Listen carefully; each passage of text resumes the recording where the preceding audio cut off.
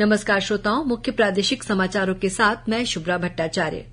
छत्तीसगढ़ विधानसभा का बजट सत्र कल एक मार्च से शुरू हो रहा है। 24 मार्च तक चलने वाले इस सत्र के दौरान कुल चौदह बैठकें होंगी। सत्र की शुरुआत कल राज्यपाल के अभिभाषण से होगी। वहीं मुख्यमंत्री आगामी वित्तीय वर्ष के लिए बजट छह मार्च को पेश करेंगे।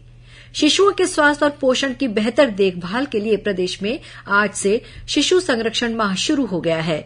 इकतीस मार्च तक चलने वाले इस माह के दौरान नौ माह से पाँच वर्ष तक के बच्चों को विटामिन ए का प्रोफिलैक्टिक डोज पिलाया जाएगा। छत्तीसगढ़ माध्यमिक शिक्षा मंडल द्वारा आयोजित कक्षा बारहवीं की मुख्य परीक्षा कल एक मार्च से और कक्षा दसवीं की परीक्षा दो मार्च से शुरू होगी। परीक्षा का समय सुबह नौ बजे से दोपहर सवा बारह बजे तक रहेगा।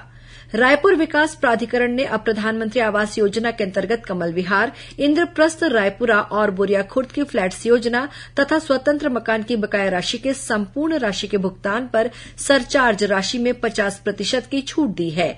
यह छूट आगामी इकतीस मार्च तक वर्तमान बकायादारों को ही मिलेगी। भाजपा के प्रदेश अध्यक्ष अरुण साव ने किसान मोर्चा द्वारा सरगुजा ज़िले के भटगांव में आयोजित किसान आक्रोश रैली को संबोधित करते हुए राज्य की कांग्रेस सरकार पर किसान विरोधी होने का आरोप लगाया है।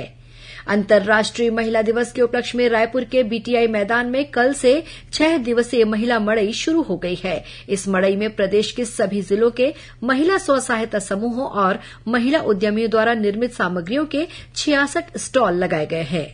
भारतीय जनता पार्टी के रायपुर शहर जिलाध्यक्ष जयंती पटेल ने पार्टी की जिला कार्यकारिणी घोषित कर दी है और भारतीय टीम ने यूएई दुबई में आयोजित बैडमिंटन एशिया मिक्स चैंपियनशिप में कांस्य पदक हासिल किया है।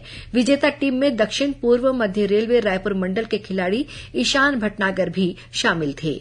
ये थे अब तक के मुख्य प्रादेशिक समाचार। नमस्कार।